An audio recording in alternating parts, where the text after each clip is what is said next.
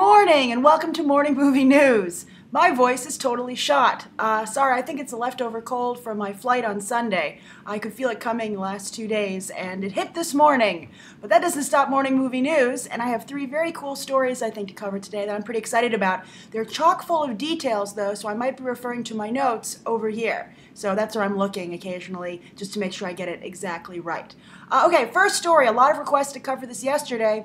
That's the news that they are going to introduce the Flash in the uh, CW's tele- hit television show Arrow.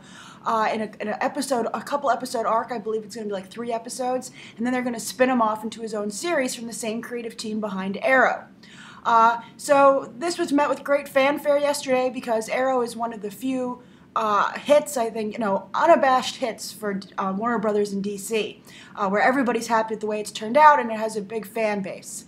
You know, it's kind of taken over for Smallville, but in a way, I've talked about it here before, that the fan base is so strong and, and is so happy with the results that you have a situation where people are like, why can't this green this Green Arrow be in the movie Justice League? You know, the Justice League movie version, and that's pretty amazing for people to feel a television show character could make that leap, especially when you have Marvel starting to blur the lines with uh, uh, Agents of Shield this fall. What do I think of this news?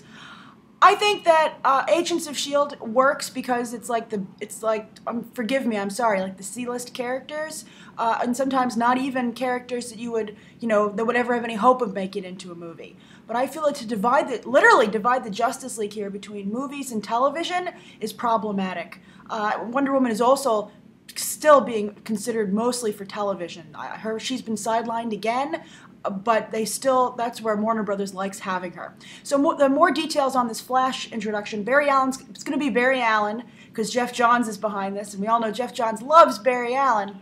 And Barry Allen will be introduced as a regular human, so his origin story will take place on Arrow. And I think you know, I guess uh, speed is a, is a special effect that's doable on television, and the producers are arguing that you know the Flash is a better television property than a movie property. But as I just said, you know, I feel that separating the Justice League like this is a mistake. I think it just proves that a Justice League movie is really far away. I would say not even on the map cinematically at this point, and that, you know, clearly uh, Warner Brothers and DC are going to focus on their Batman, Superman properties, and, and, you know melding them in 2015 with the Man of Steel sequel. Uh, by the way, two small side notes. Uh, I have to say, if you have not seen How It Should Have Ended, uh, quick super cafe bit on Man of Steel uh, 2 with featuring Batman. It's short but brilliant. I highly recommend you check you check it out. And also, uh, I guess maybe DC knew about this, but you know they launched a DC uh, Batman Superman comic book uh, for Man of Steel when Man of Steel came out, and it's actually pretty good. I mean, it's largely based on the art. That's what makes it really good from uh, Jae Lee. But if you're not, if you if you're into comics at all, I highly recommend you you check it out. It's it's pretty well done. I, I'm enjoying it at least. It's only on issue two, so you can totally catch up. So uh, I don't know. I, everybody here knows that I have problems with uh, the whole way that Warner Brothers handles their DC properties, and I can I I continue to think they don't think big picture enough. I feel that there's no uh, visionary over there guiding the entire thing, and I think they're just all over the place. And I think that they're looking for a potential short-term success with the Flash, uh, a television show, and they are ignoring the long-term success that an eventual ju- eventual Justice League movie could bring them. Uh, and they should be building towards that. Although I do agree, World's, World's Finest should come first, but as I said, there should have been a Man of Steel sequel, uh, just pure sequel before that, and maybe introduce some other characters in their own films. Uh, I think the Marvel recipe works, and I think uh, DC shouldn't be so concerned with playing catch up. They should be concerned with getting it right. Okay, so, so that's the first story of the day. Uh, the second story is that it's really interesting to see a number of key behind the scenes people for some of your favorite directors becoming directors themselves. Uh, as you as you've probably heard, uh, Christopher Nolan's DP Wally Pfister has his own film that he's shooting right now called Transcendence. It comes out in 2014. It stars uh, Johnny Depp and Kate Mara. Uh, and also, the interesting thing is that I see I'm going to refer to my notes here. It has several uh, Nolan's regulars in the cast. You got Morgan Freeman, Cillian Murphy, Rebecca Hall, uh, and also Paul Bettany. I'm so happy to see Paul Bettany on screen again. I'm, I'm a big Paul Bettany fan. But uh, the film is about artificial intelligence and kind of like a, you know trying. To, there's this uh, these business people, apparently from the uh, from the synopsis, who are trying to create an intelligence that's smarter than humans, that can do things that humans can't. And then there's a faction, uh, an anti-technology faction that's against them. It sounds very Nolan-esque, you know, when you when you think about it.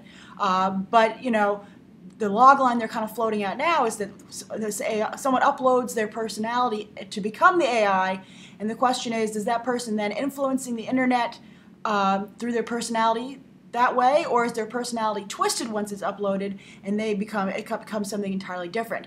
I find this whole connection interesting because Paul, er, there's a lot of um, when I did my um, Tony Stark creates Ultron video after the news that Avengers 2 would be Age of Ultron, a lot of you pointed out that Jarvis could be manipulated to become Ultron, and I thought how wonderful for Paul Bettany because he's the voice of Ultron that I mean he's the voice of Jarvis who would become Ultron. But how wonderful for Paul Bettany that the poor guy has had to be behind the scenes on one of the biggest film franchises of all time. Uh, the third most success, third and fourth, I believe, at this point, or third and fifth most, second and fifth most successful films of all time, uh, Avengers, uh, the Avengers, and Iron Man three and he never gets any face time, never gets any credit. I believe a lot of you mistakenly also credit his voice work to someone else sometimes. I forget who you were crediting, but I've seen some people say that Jarvis is voiced by someone else. So I would love it if he got to then ultimately play Ultron. That would be fantastic. But you have to wonder, is he already going to be involved? He's already involved in this artificial intelligence storyline here with Wally Pfister. So I think that's interesting. But the, the, the big news that came out yesterday was that in addition to Wally Pfister, um, uh, Angus Wall, the editor for David Fincher, both for um, The Social Network and The Girl with the Dragon Tattoo, Oscar winning editor, is finally getting to direct his own film. It's called Empire. Uh, the, the, it's being kept heavily under wraps, obviously, uh, which is refreshing, I guess. and it's written by the guy who wrote Source Code. Source Code is the, the Duncan Jones follow up to Moon. Very well made movie, although, as I said when I initially when I reviewed it when it came out, I, within like five minutes. If, if you're, it would be interesting. It's an interesting test. I think if you're very keen to genres, if you read a lot of genre work and see a lot of genre movies, you know, I figured out what was going on like in five minutes. You know, it, it, so it was just more more or less watching the movie catch up. But still, uh, it, it was a quality film. You know, I, even though I guessed it, I still think that it was certainly a lot better than a lot of the scripts are coming at this summer. So I think that's exciting. I think it's wonderful. I, I, will be interested to know how much Fincher and Nolan are responsible for these people breaking out under, from underneath them. But it's really nice you know, it's usually a writer is the writing is the only path to directing. So it's wonderful to see editors and DPs. You know, DPs do cross over a lot, I guess, but not to the same extent. But it's great to see this talent who's helped make these great films. Because directors get a lot of credit uh, when a lot of people made the film. And I know the director's the visionary, but still, this, uh, these other qualities are very important. So it's great. Congratulations to Angus Wall and Wally Pfister. It's always great to see new talent come to the table. All right, third story of the day. Uh, Fede Alvarez, who directed the Evil Dead remake, the notoriously gruesome Evil Dead remake, just sold a sci-fi action pitch, uh, pitch called uh, Mach- uh, um, Machina or Machina. It's not. It's not the YouTube uh, conglomerate, but uh, Machina. Machina, maybe that's what it is. And it's a sci-fi action film. He just sold the pitch. He's going to co-write it with the guy he usually works with. But I think it's interesting, even though they're not saying anything about what it's what the plot is or what the details. Uh, I, it was a chance to catch up and see how The Evil Dead did in theaters, and it made 100 million worldwide, but only 54 stateside, which I thought was interesting. It cost 17 million to make, so it still it still was a success. It still turned a profit. But it's interesting that these horror movies are so low budget that they're able to really be considered successes when they it's rare for them to make a lot of money and for rare for them to get anywhere near 100 million here in the United States, which is the usual benchmark for a successful film. But the horror genre, as I just said, is so inexpensive, it's designed to succeed in even the harshest environments. But anyway, I think that you know, I think it's pretty safe to it's pretty safe bet that this new pitch, this new sci-fi action pitch is also cheap because I think that you know that kind of box office performance for Evil Dead, I don't think Fede Alvarez is quite there yet to, to be trusted with a large budget to, to reap it back. But sci-fi action, that's a bigger arena, a much more likely chance to turn to make some more money and maybe get his District 9 and you know then he'll get his Elysium. So those are the three stories of the day. Write down your thoughts below what you think. Thanks for tuning in to Morning Movie News. It's good to be back. It was good to have so many people uh, excited to see it back yesterday. And I again, I appreciate your patience while it was out of commission during the whole Comic Con time. So Comic Con is crazy, and my voice got a little better after talking to you. All right, so I will uh, more videos coming later today, and of course, Morning Movie News will be back tomorrow. Bye.